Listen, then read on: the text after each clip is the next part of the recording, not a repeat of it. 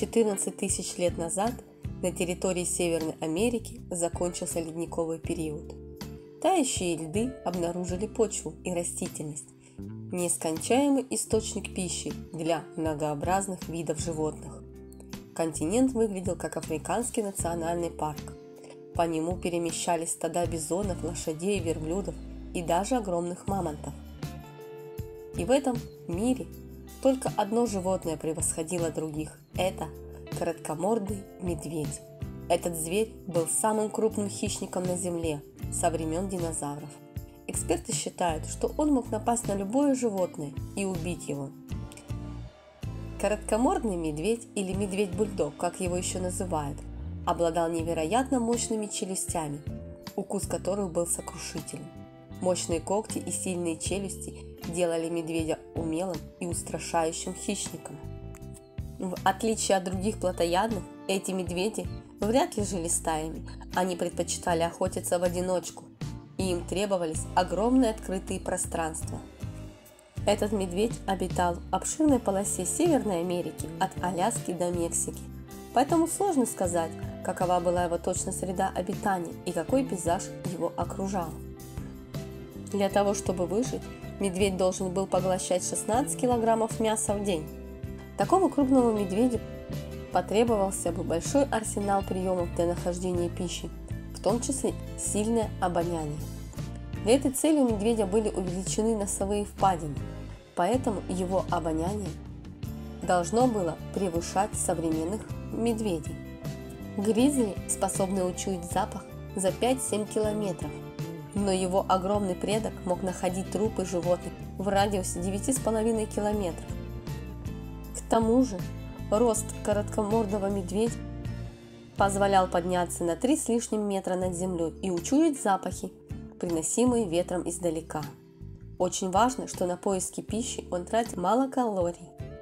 Однако, когда медведь находил труп жертвы, ему предстояло еще украсть его. И вот тут ему предстояло бороться за звание самого главного хищника. Но завладеть добычей было не так просто, как ее найти. Обычно рядом находился крупный хищник.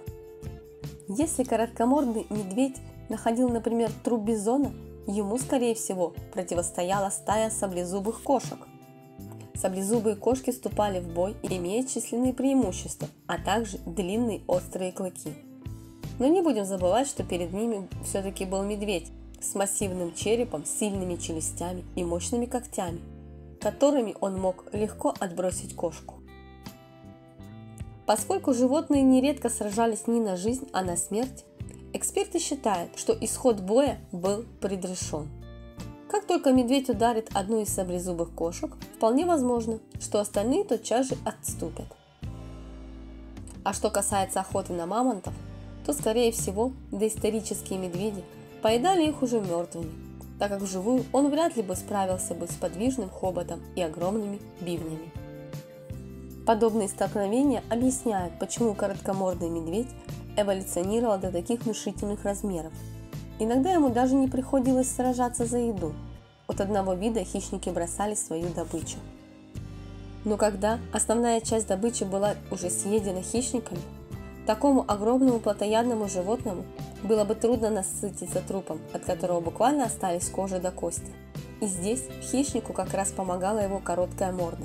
Благодаря тому, что передние зубы медведя располагались близко к его челюстному суставу, он мог без труда разгрызть кости. Строение челюсти короткомордного медведя позволяло ему разгрызть даже очень крупные кости и питаться костным мозгом, в котором содержалось много жиров, липидов и дополнительных калорий.